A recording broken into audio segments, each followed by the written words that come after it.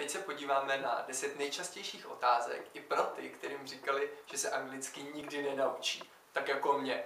No, oni mě často říkali i horší věci. Tak pojďme na to. Hello, my name is Martin Serníček.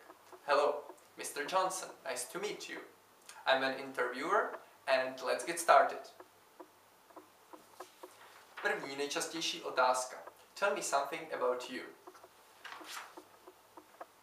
I graduated from a business school.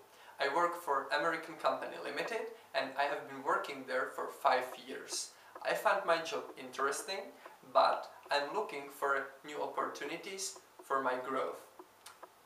I like traveling and learning languages. Therefore, I spend most of my time traveling the world.